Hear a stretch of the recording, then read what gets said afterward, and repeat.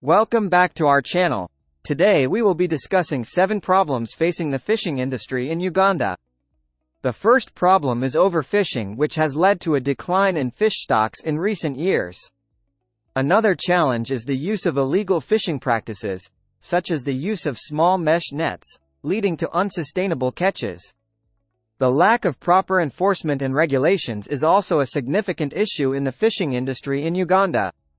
Corruption within the industry is widespread, leading to unfair distribution of fishing licenses and illegal fishing activities. Climate change is posing a real threat as rising water temperatures and unpredictable weather patterns affect fish populations. The absence of fishery management plans and responsible fishing practices is also a major concern. The increasing pollution in water bodies, caused by industrial waste and agricultural runoff, is impacting the fish habitat. The lack of access to modern fishing equipment and technology hinders the productivity and efficiency of the fishing industry. Fishermen often struggle to secure market access due to inadequate storage and transportation facilities for their products.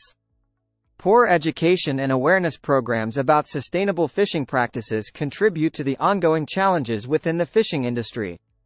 In conclusion, addressing these seven problems facing the fishing industry is crucial for the long-term sustainability and growth of the sector in Uganda.